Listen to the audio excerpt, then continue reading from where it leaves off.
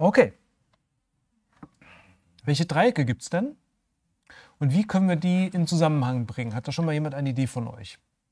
Gibt es irgendwelche Dreieckstypen, die euch einfallen, die man in so Verbindungen bringen kann, wie wir es gerade mit den Vierecken gemacht haben? Spark. Das Mikro? Hm? Also man könnte das gleiche mit den Dreiecken machen. Ja. Mach mal, sag mal ein paar Dreiecke, die man irgendwie in Beziehung setzen kann vielleicht. Irgend so ein allgemeines Dreieck wahrscheinlich. Ja. Dann gibt es ein rechtwinkliges Dreieck. Mhm. Ich, ich male mal die ganzen Dreiecke hier rechts hin, okay?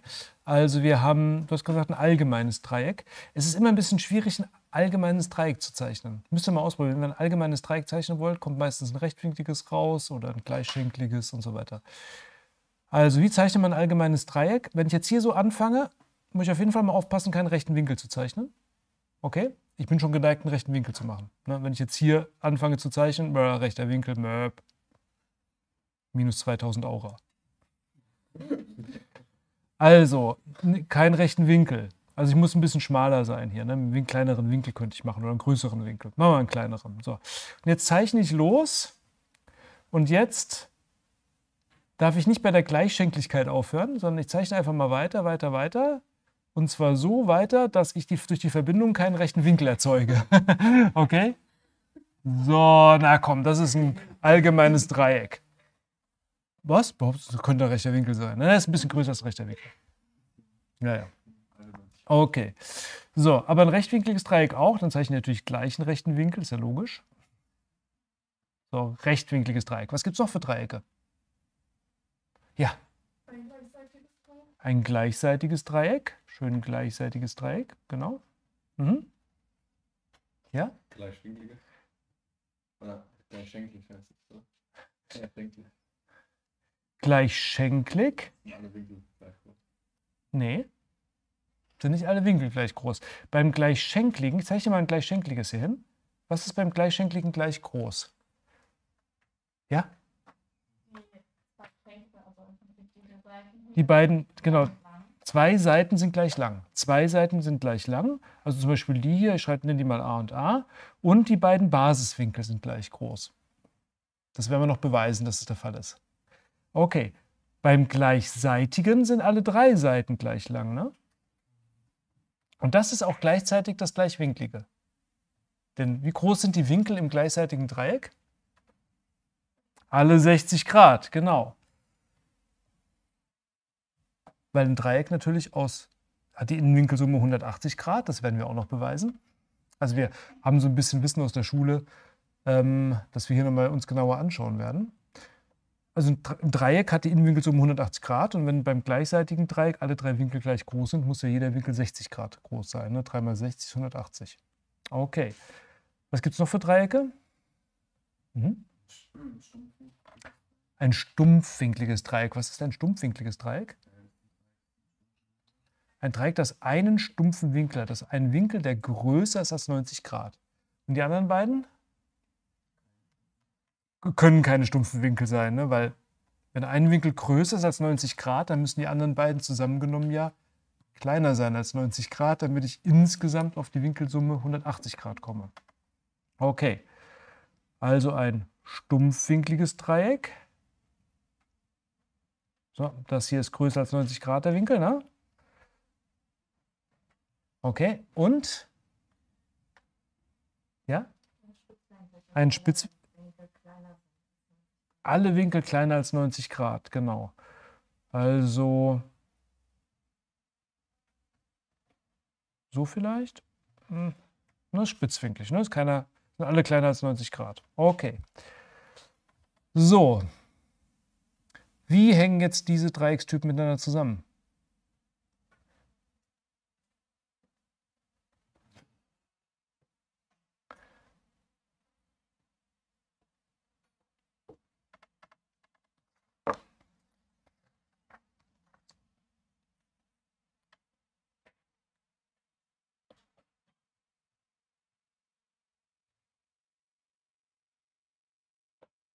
Ja. Möchtest du da vielleicht ein Mikro, oder? Willst du? Ist okay? Hm? Ich hätte jetzt gesagt, dass ein gleichseitiges Dreieck eine spezielle Form von einem gleichschenkligen Dreieck ist? Aha, das können wir schon mal machen. Also ein gleichseitiges Dreieck ist eine spezielle Form von einem gleichschenkligen. Ich mache mir hier ein gleichschenkliges hin. Und das gleichseitige ist eine spezielle Form des gleichschenkligen. Warum? Kannst du mir eine Begründung vielleicht? Weil bei einem gleichseitigen sind ja alle Seiten gleich lang. Das heißt, auch eben die zwei Schenkel sind gleich lang. Und bei einem gleichschenkligen sind nicht mehr alle Seiten, sondern nur noch zwei gleich lang. Deswegen ist es eine, deswegen ist das gleichseitige eine spezielle Form vom gleichschenkligen. Genau, das gleichseitige ist eine spezielle Form vom gleichschenkligen. Beim gleichschenkligen sind zwei Seiten gleich groß. Was nicht bedeutet, dass nicht auch die dritte gleich groß sein kann wie die anderen beiden. Ne? Aber mindestens zwei sind gleich groß. Und beim gleichseitigen sind eben alle drei gleich groß. Okay. Haben wir schon zwei in Zusammenhang gebracht. Mit oder ohne Mikro? Also mit Mikro versteht man, versteht man besser außen, genau. Ne? Wenn's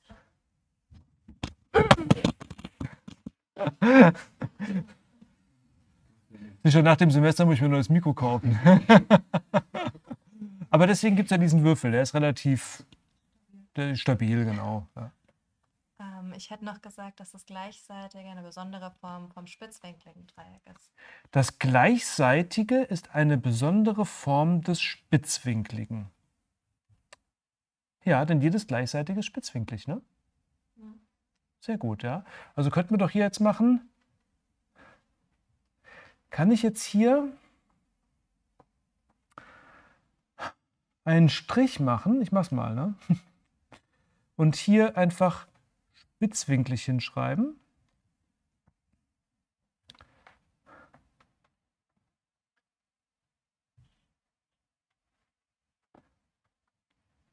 Das würde jetzt ja bedeuten, dass spitzwinklig und gleichschenklig nicht zusammenhängen. Ist das so? Sind gleichschenklige nie spitzwinklig? Amen? Doch, das geht auch, weil geht man einfach die, die obere Ecke nach oben zieht sozusagen. Kann es auch gleichschenklig sein und dabei auch spitzwinklig. Ja, genau. Spitzwinklig kann auch gleichschenklig sein. Kann ich jetzt, ich könnte jetzt spitzwinklig auch so als Untertyp von gleichschenklig machen. Geht das? Sind alle spitzwinkligen gleichschenklig? Auch nicht.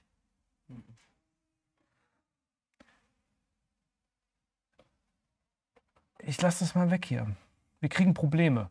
Wir kriegen Probleme, weil wir können zwar sagen, ein gleichseitiges ist immer spitzwinklig, aber jetzt gleichschenklig und spitzwinklig in dieser Form zusammenzubringen, funktioniert nicht, weil manche gleichschenkligen sind spitzwinklig, aber nicht alle. Und manche spitzwinkligen sind gleichschenklig, aber nicht alle. Das ist so wie bei Quadrat und Rechteck. Alle Quadrate sind Rechtecke. Das kriege ich bei spitzwinklig und gleichschenklig nicht hin. Mir Beide Aussagen sind falsch. Alle gleichschenkligen sind spitzwinklig. Nee, es gibt auch stumpfwinklig gleichschenklige. Und andersrum, alle spitzwinkligen sind gleichschenklig auch nicht. Nicht alle spitzwinkligen Dreiecke sind gleichschenklig. Hm. Eine einfache Sache kann ich aber noch machen. In der Reihe hier.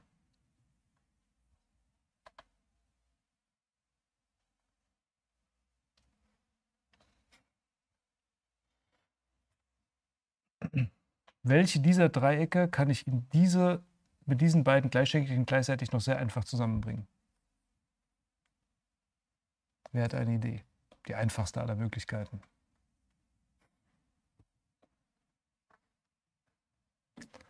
Anna. Das Allgemeine, genau. Na, das habe ich ein rechtwinkliges gezeichnet. ja, komm, das ist ein allgemeines Dreieck hier. Allgemein, genau. Ne, jedes gleichschenklige ist ein allgemeines Dreieck. Also, allgemein, gleichschenklig, gleichseitig. Wird immer spezieller. Super. Jetzt haben wir noch rechtwinklig, stumpfwinklig und spitzwinklig.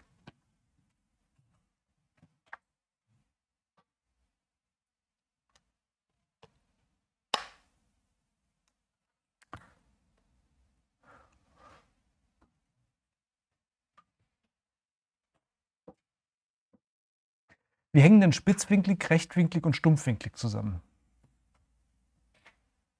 Ja? Besser Mikro haben? Nee, okay. Geht bei allen um die Winkel. Genau. Gibt es denn, stehen die irgendwie in Beziehung zueinander? Spitzwinklig, rechtwinklig und stumpfwinklig. Möchtest du, magst du? Mit, mit Mikro? Bei euch passt das so, aber die Leute kriegen es draußen nicht mit. Aber wenn, also wenn ihr nicht wollt, ist okay. Wenn es euch nichts ausmacht, wäre es gut, wenn ihr es nehmen würdet. Ähm, wenn man sich vorstellt, dass das Rechtwinklige sozusagen von denen in der Mitte ist, dann Mhm. gibt es, entweder ist der Winkel dann steiler, also dann halt so weiter, dann ist er stumpfwinklig, oder halt enger zusammen, dann ist er spitzwinklig. Ja, ich versuche es mal hier hin zu skizzieren. Ich bin jetzt hier leider reingekommen. Egal. Also, wir haben drei Winkel, die kleiner sind als 90 Grad, und dann bin ich bei spitzwinklig. Sobald einer von denen 90 Grad wird, bin ich rechtwinklig. Und sobald der noch größer wird, ist das Dreieck stumpfwinklig. Das sind drei komplett voneinander getrennte Dreiecksmengen. Die haben nichts miteinander zu tun, außer dass sie alle jeweils allgemeine Dreiecke sind. Spitzwinklig, rechtwinklig und schreibe hier mal stumpfwinklig. So, genau. Also, ich habe hier eine Reihe mit Dreiecksbegriffen, gleichzeitig gleichschenklig allgemein. Und ich habe nochmal ein zweites Kategoriensystem mit spitzwinklig, rechtwinklig und stumpfwinklig. Und es ist tatsächlich so, die kann ich nicht gut jetzt in ein solches Diagramm zusammenführen. Wie sieht es denn mit den Rechtwinkligen aus? Welche von den Dreiecken hier links können rechtwinklig sein?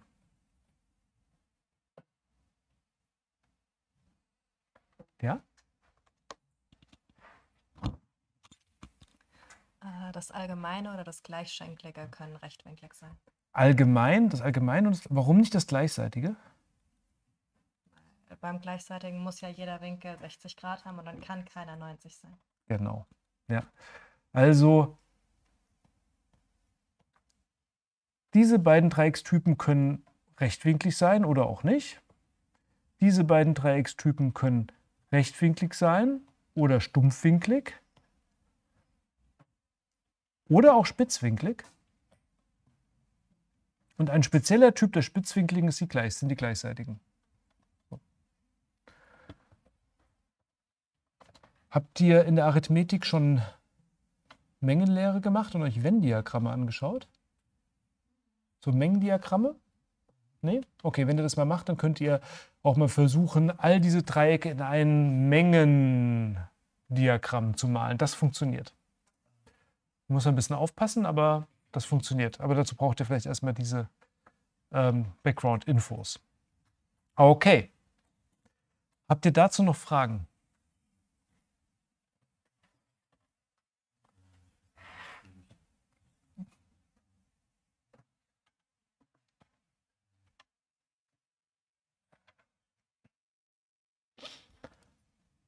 Okay.